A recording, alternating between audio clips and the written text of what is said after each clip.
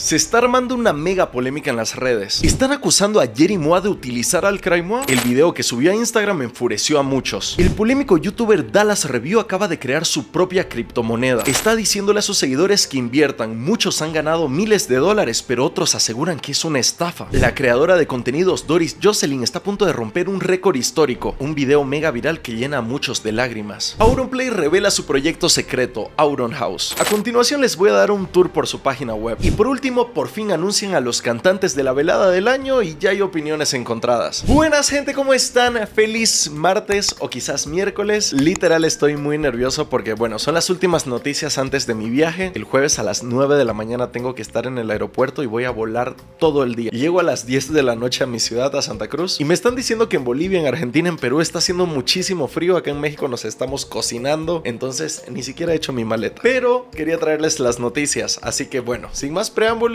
empecemos. Salud, tráiganse algo de comer o de tomar. Siempre me olvido de decirles. Eso es un poquito de que ellos pueden controlar el precio, un poquito hasta ilegal. El polémico youtuber Dallas Review acaba de crear su propia criptomoneda e invitó a sus seguidores a invertir en ella. Si bien muchas personas están ganando miles de dólares, otros aseguran que es una estafa. A continuación les explico qué sucede y por qué se volvió tendencia. Ya hay muchas cuentas pues de Twitter denunciando con pruebas este robo que está haciendo Dallas Review. Chicos, en la red social Twitter el nombre de Dallas es tendencia por varios motivos, siendo el principal de ellos el tema de la Pambi Coin. Él ha estado compartiendo muchos memes acerca de su criptomoneda y personas de su comunidad también están hablando de lo mismo. No voy a entrar en detalles muy técnicos de la noticia, pero les explico. Dallas está creando este nuevo proyecto, de hecho tiene su canal de YouTube que se llama Crypto Dallas, que ya está por llegar a los 200 mil suscriptores, y ha creado esta moneda digital en base a memes, conocida como la Pambi Coin. Hace unos días no valía nada en el mercado y como personas han empezado a comprarla y a invertir en ella, comenzó a subir su valor. Dallas inclusive ha hecho descuentos para sus seguidores. Por ejemplo, este tweet, ahora es el momento de comprar, hay descuento, atentos que no habrán más, en unas horas se viene un anuncio demasiado fuerte. Ustedes saben que todo el tema de estas monedas digitales, criptomonedas, blockchain, inversiones a través de internet, siempre generan duda en los usuarios. ¿Es algo rentable? ¿Se puede ganar dinero? ¿Es una estafa? ¿Lo voy a terminar perdiendo con el tiempo? Comenzaron a surgir preguntas en las redes. El creador de contenidos Marciano Finanzas, reconocido por hablar de estos temas, investigó acerca de la moneda de Dallas. A lo largo de su video reacciona a ciertas situaciones que han sucedido, por ejemplo, ya hay personas que han perdido dinero porque cayó en su momento el valor de la moneda. Reacciona también al hecho de que Dallas conversa con sus seguidores y habla de cómo ellos pueden controlar el valor de la moneda debido a que si se emocionan y compran más sube el valor, si venden cae y ellos tienen un grupo exclusivo de Discord para poder hacer estas movidas. Si estás en mi Discord y eres una ballena, de ti depende ahora de que esto crezca. No hagas velas rojas. Él está mandando un mensaje.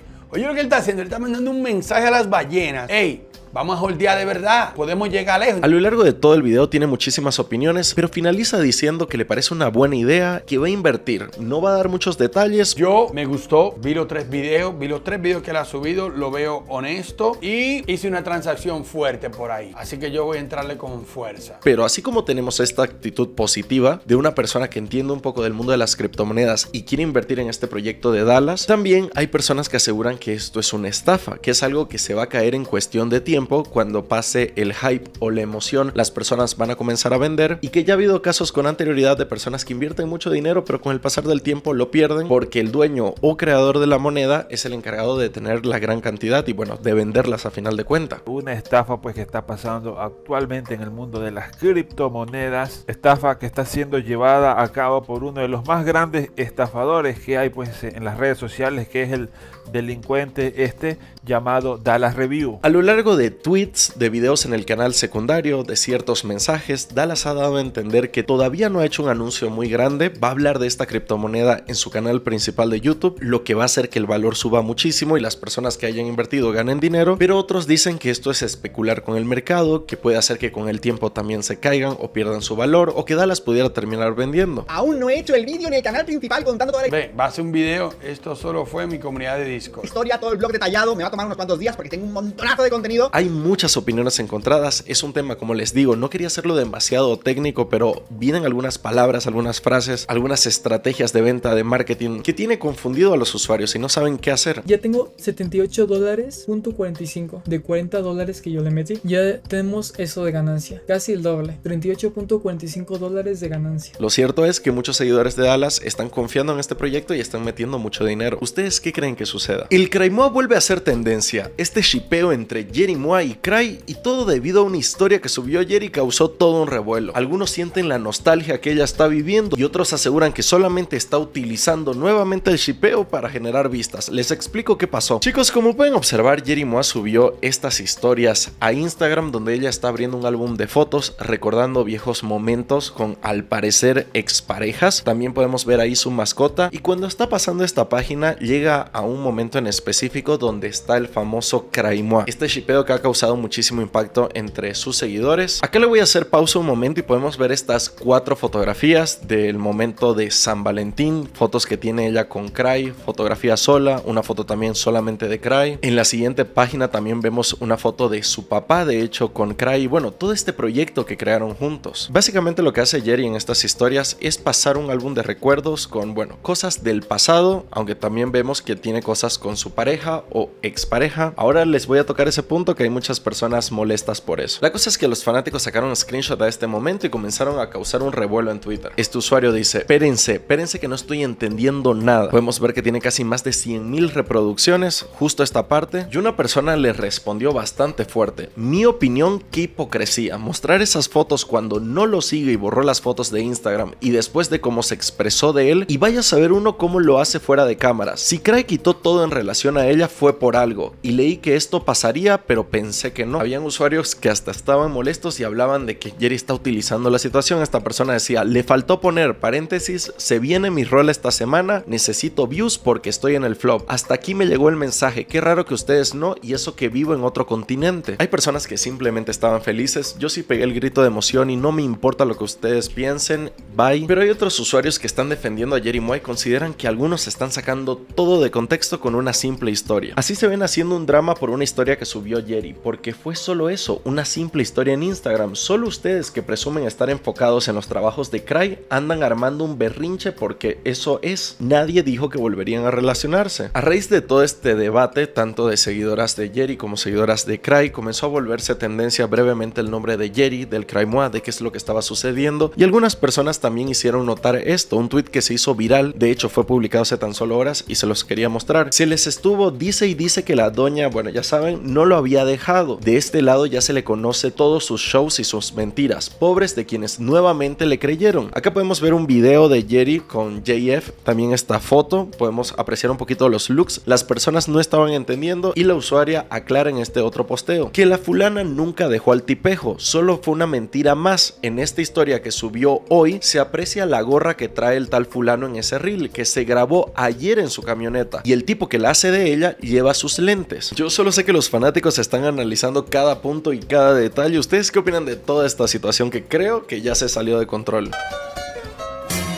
Una creadora de contenidos mexicana está a punto de romper un récord histórico. ¿Quién es Doris Jocelyn y por qué su video se está volviendo noticia internacional? Yo sé que todos vimos y estamos admirando el trabajo de Doris. Chicos, ya diversos medios de comunicación estaban haciendo cobertura. El Universal, ¿quién es Doris Jocelyn, maquillista que la está rompiendo en TikTok? Teníamos a TV Azteca, descubre el video viral México haz lo tuyo de la TikToker mexicana Doris Jocelyn. Y así sucesivamente la prensa estaba hablando de esta creadora de contenidos. Acá les dejo su perfil con más de 22 millones de seguidores. Si ustedes bajan un poquito se van a encontrar con este video que subió a la plataforma, lo tiene anclado, ya está pasando las 70 millones de reproducciones en menos de 24 horas. Acá les voy a dejar el video mientras se los relato un poco por tema de copyright, no sé si puedo poner la canción quizás bajita. La descripción decía México haz lo tuyo y que todo el mundo te vea y las etiquetas que ella utilizó para proponer esta nueva tendencia o este nuevo trend fue Trend Mexa y Princesa Azteca. Dura poco más de un minuto pero podemos ver toda la cultura mexicana resumida en transiciones, maquillajes, bailes, fútbol, historia típica, comida, luces, sonido, colores, de verdad que es impresionante. La selección nacional de fútbol mexicana comentó, wow, viva México, tenemos a un montón de creadores de contenidos igual comentando acerca de este video y de lo increíble que está haciendo. Muchos lo están compartiendo en sus redes sociales y están invitando a que otras personas lo hagan para así mostrar la cultura que tiene este país. De los comentarios más lindos, me sentí orgullosa de México y ni soy mexicana. Yo lloré, wow, fue realmente como sentir a México. ¿Por qué solamente solo le puedo dar un like? Verdaderamente la princesa azteca, qué precioso, me dio sentimiento, estoy llorando. Finalmente algo que nos represente como país, lo mejor que he visto este 2024. Ver este tipo de videos, mostrárselo a la gente que no conoce las tradiciones, que no conoce mucho sobre tu país, más que